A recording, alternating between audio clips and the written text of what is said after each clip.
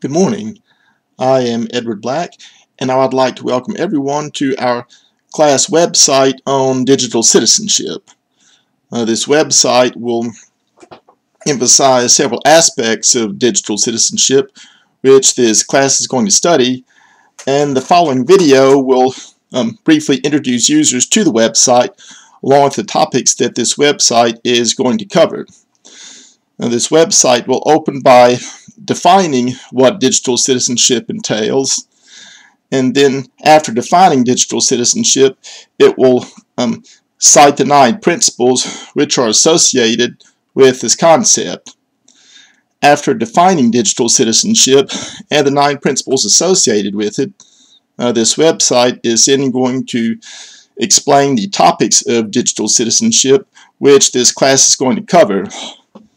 Uh, the major topics of digital citizenship um, will involve uh, how the students are expected to behave and conduct themselves uh, when it comes to utilizing this website along with digital devices.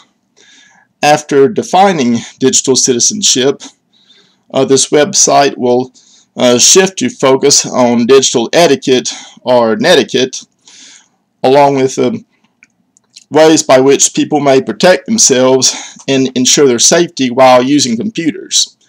After discussing digital etiquette or netiquette along with personal safety, this website will then shift to um, focus on the issues of copyright, fair use, and plagiarism.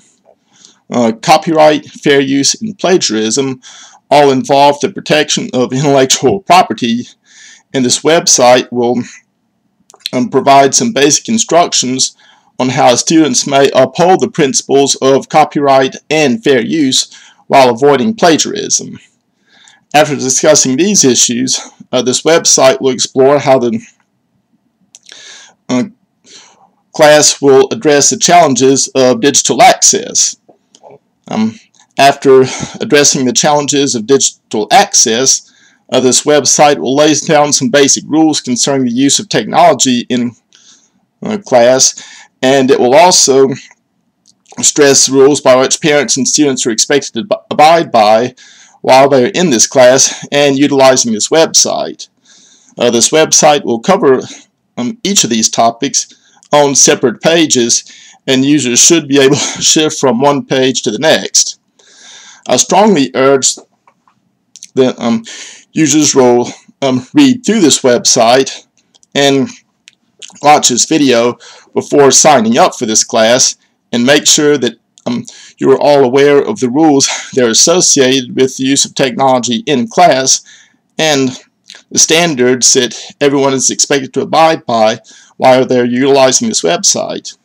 Again, I would like to welcome everyone to the class and website on digital citizenship and I hope that everyone is able to enjoy this class and that they'll find this class a learning and rewarding experience. I would like to thank everyone for watching this video and reading this website and I look forward to getting to know everyone in class for this year.